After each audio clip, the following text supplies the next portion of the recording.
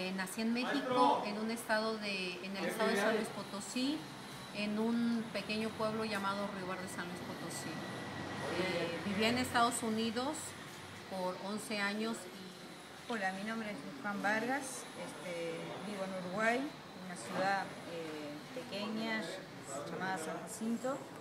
Este, y bueno, agradecida de poder acá estar con ustedes y compartir esto que estamos viviendo.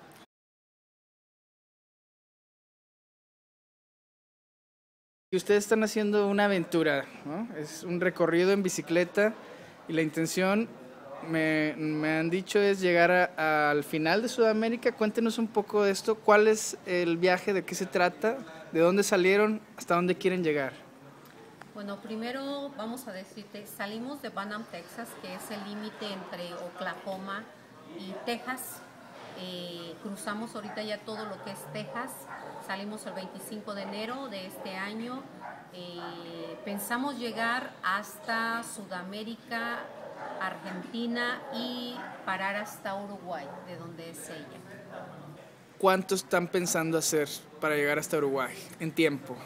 Mira, en tiempo, este, como son más, casi 9 mil kilómetros o un poquito más, eh, en tiempo habíamos planeado entre 7 u 8 meses hacerlo, eh, parando, deteniéndonos, porque en la planeación eh, tenemos pensado visitar amigos de todo el mundo, o sea, no de todo el mundo, sino de todo Sudamérica, y quizás de quedarnos como el día de hoy aquí en Monterrey y entonces eso nos va a tomar un poquito más de tiempo. Entonces no es un viaje de velocidad, no es un viaje de, carrera, es un viaje de disfrutar, de conocer, de darle a, la, a, las gentes la idea de que viajar se puede sin necesidad de tanto dinero, sin necesidad de contaminar, sin necesidad de, de que este, seas parte más de la polución del mundo. Eh, y es un viaje de amor, de amor primero porque primero nos amamos nosotras y para amarnos nosotras nos dimos cuenta que necesitábamos salud. Segundo, de que al amarnos no requeríamos de tanto dinero para poder salir, para poder disfrutar de la naturaleza, para poder respirar este aire, para poder sentir este sol. Entonces, eh, quizás nos lleve siete ocho meses, quizás un año. Aquí para nosotros el tiempo es relativo. No vivimos el día, no vivimos la hora, vivimos el momento, simplemente.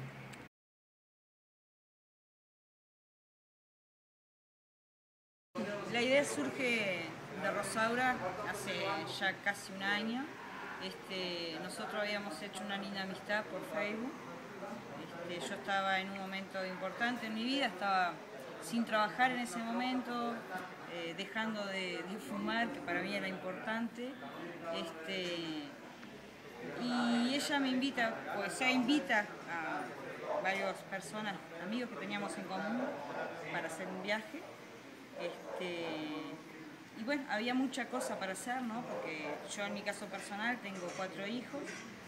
Eh, y realmente a mí lo que me motivó fue eh, encontrarme a mí misma, eh, encontrar la libertad que, que, tanto nos cuesta, desapegarme un poco de, de todos mis afectos, este, cosa que he aprendido en, en todo este viaje que es maravilloso, que ella ha sido mi maestra espiritual también, este, he aprendido mucho de ella.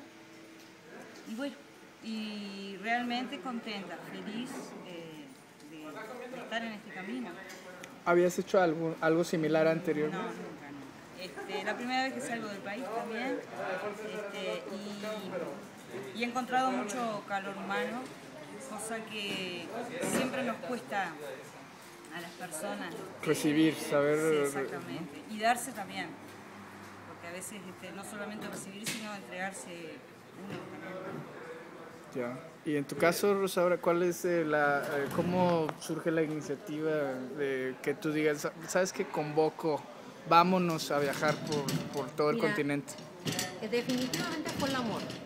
Yo encontré algo en mí que toda mi vida estuve buscando, el amor a mí misma, el amor a, sentirme y a saberme yo capaz, aun cuando mucha gente me ha dicho, pero qué insignificante, qué, pequeñita, qué delgada. Eh, quizás la gente eh, hemos eh, aprendido a ver a las personas por su figura, por su ser exterior, cuando por dentro tienes una fortaleza inmensa. Entonces yo encontré que dentro de mí tenía algo hermoso.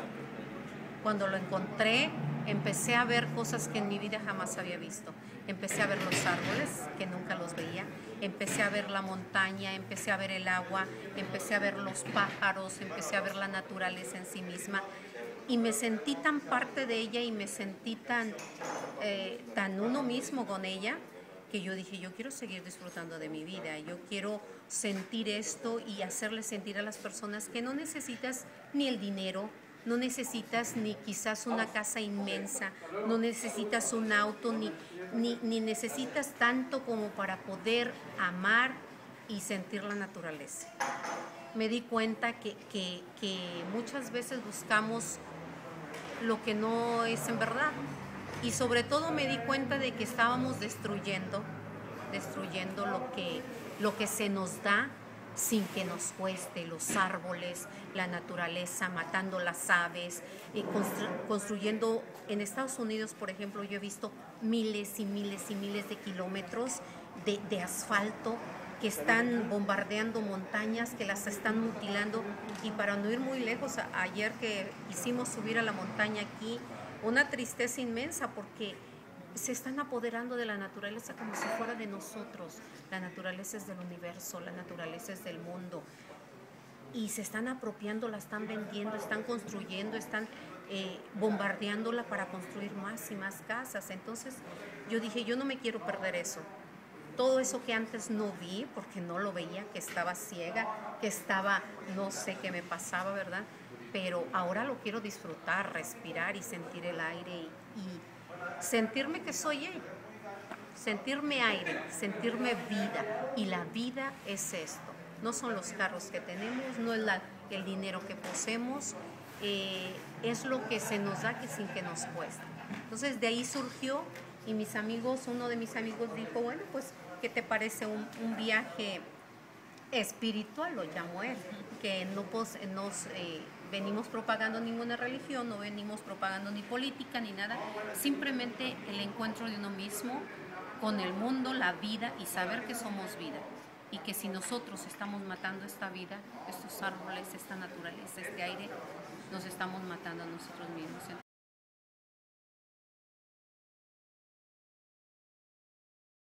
¿Qué cosas eh, han planeado en este año que me comentan que ha llevado la preparación del viaje? fue intenso realmente. Alguna vez quizás este, eh, eh, pues me causó un poco de preocupación, eh, pero fue desde planear rutas, primero comprar, comprar todos los accesorios, la bicicleta, nos deshicimos de todo lo que es personal, joyas, vestidos, ahorita no tenemos más que lo que traemos y todo es de bicicletista, ¿verdad? De bicicletero, este, aretes, todo, nos desprendimos de todo para comprar lo necesario, fue lo esencial. Empezar a practicar, empezar a, quizás contactar amigos que ya practicaran la bicicleta, que nos fueran aconsejando cómo hacerlo, de qué manera, este, cuál era la mejor forma, la alimentación, eh, los tiempos de preparación, eh, ejercicios de calentamiento, eh, fue lo inicial. Enseguida comenzamos con una ruta. Ahora, ¿qué ruta? ¿Por qué hacia Sudamérica? Nos dicen muchos. Creo yo que, que en el mundo, en el universo, igual que el cuerpo humano, tiene sus chakras. Creo. Entonces, si nos damos cuenta, si nuestro ADN está cambiando con todo este movimiento, de, lo que es el mundo, los chakras del mundo también están cambiando, de la Tierra.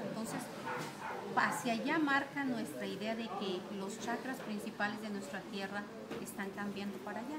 Entonces, hacia allá vamos. Eh, la ruta es un poco más difícil, más difícil, porque estar viendo mapas, cosa que nunca hacíamos, estar viendo, entrar a Google, manejar computadora, que tampoco era yo muy diestra, ni me gustaba, ninguna de las dos nos gustaba. Entonces, iniciar con la computadora, empezar a buscar en mapas, en Google, eh, consultar personas y, y, ver carreteras y ver ciudades y ver... Hemos cambiado la ruta como tres veces y ahorita todavía en el camino estamos dispuestos a cambiar según se nos vaya dando, según se nos vaya diciendo y según eh, se nos vaya presentando. Porque vivimos, hubo una planeación, es cierto, pero si la planeación hay que cambiarla. Hay una flexibilidad. Hay una flexibilidad. Para también que forma parte del disfrute que buscan del, del recorrido. Exactamente.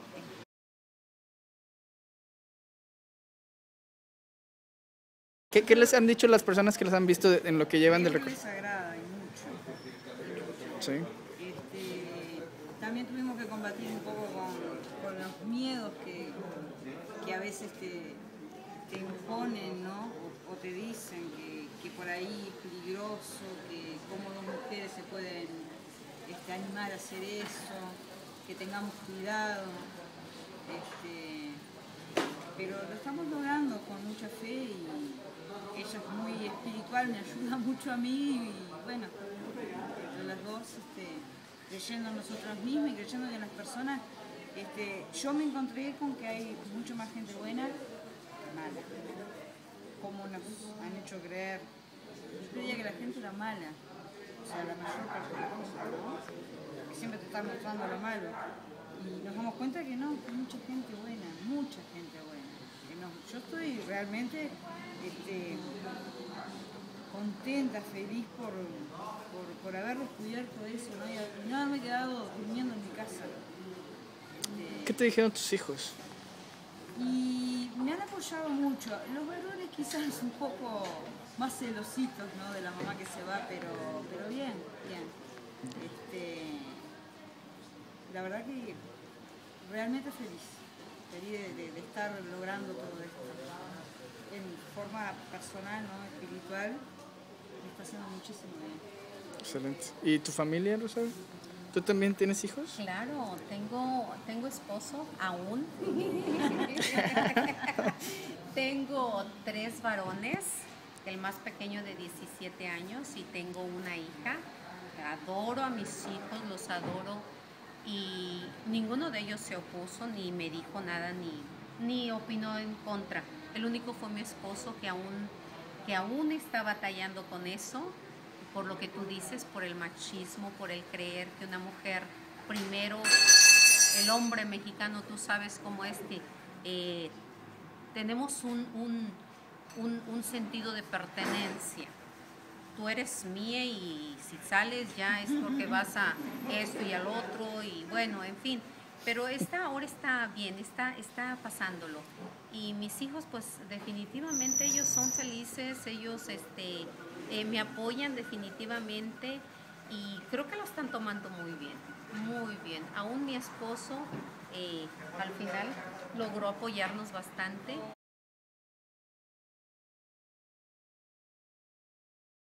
El hecho es aquí iniciar a pedalear, iniciar a sentir este aire, iniciar a sentir esta naturaleza, iniciar a sentirte la vida, porque pedaleando es vida. Excelente. Muchas gracias, muchísimas gracias. Gracias.